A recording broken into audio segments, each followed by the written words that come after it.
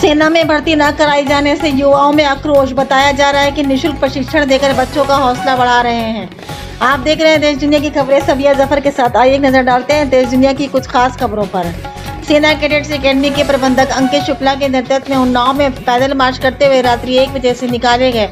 दस बजे पहुँचे भर्ती, कई जिलों से साइकिल मार्च करते हुए मुख्यालय सेवा के कार्यालय पहुंचकर अधिकारियों से भर्ती की मांग, सेना में भर्ती कराने की मांग कर रहे अंकित शुक्ला।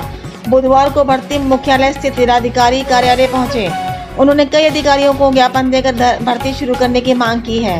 राष्ट्रीय सैनिक छात्र सेवा परिषद अध्यक्ष अंकित शुक्ला ने कहा, गरीब किसान मजदूर के ही बच्चे सेना में जाते हैं। कोई विधायक, सांसद, मंत्री के बच्चे नहीं। सरकार हम सबसे भेदभाव कर रही है। तीन वर्ष से सेना में भर्ती न होने से युवा निराश है। केंद्र सरकार के समक्ष प्रमुख मांगे सेना भर्ती परीक्षा रैली।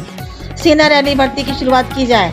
भर्तियों में उम्र में दो साल की छूट की जाए भर्ती के रिक्त भी बढ़ाई जाए। सरकार हमारे भविष्य की ओर कोई ध्यान नहीं दे रही। अगर सेना में भर्ती ना कराई गई तो लाखों युवाओं का देश सेवा करने का सम, सपना टूटना और उन्हें बताया कि जिला प्रशासन के माध्यम से कई बार राष्ट्रपति प्रधानमंत्री व रक्षा मंत्री को ज्ञापन भेजा गया लेकिन कोई हाल नहीं निकला। युवाओं ने दिसंबर 2022 तक सेना में भर्ती कराने की मांग की है। इस दौरान अनीस बाबू अश्वनी विकास शहनवाज हुसैन विकास सविता, देवेंद्र कुमार मोनू ओम देव यादव, चाहत सविता, अभय सोनी, शिवा श्रीवास्तव, गौरव कनौदिया युवा मौजूद रहे।